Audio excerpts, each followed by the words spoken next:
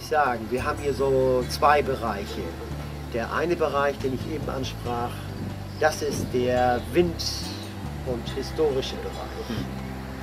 Mit dem kleinen Hühnerfutter. Das bringt enorm viel Spaß, aber kein Geld.